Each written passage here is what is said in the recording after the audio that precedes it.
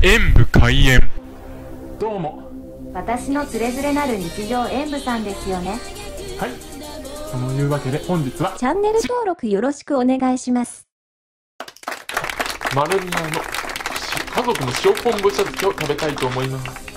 はあこういうふうに丸宮のふりかけはやっぱりのり玉でよく食べるんですけどこういうのもあるんですね。お茶漬けっていうと中谷園のイメージがあるんだけどな。こういうのも出てたね何回言うんですよねこれ。中身は一般ごとの小分けタイプですまとめて入ってるのかな。ちょっとちょっと怖いなかけすぎとかあるから。では。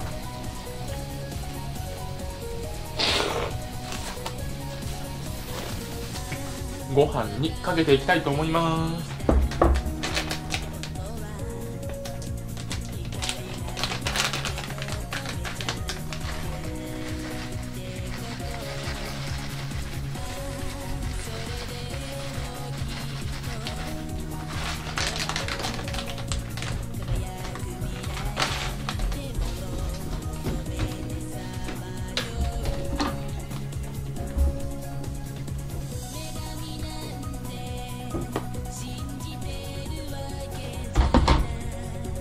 お湯を注ぐとこんな感じですね。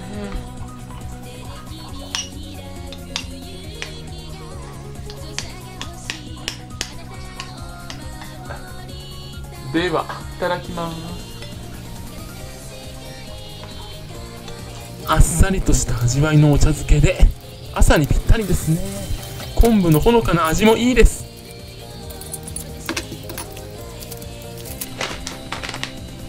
まあ、塩昆布って書いてるんで当然では当然なんですけど以前何度か紹介したことがある玉露園の塩昆布茶あれに昆布の食感とあられの食感そしてご飯が入ってるそんな感じですね。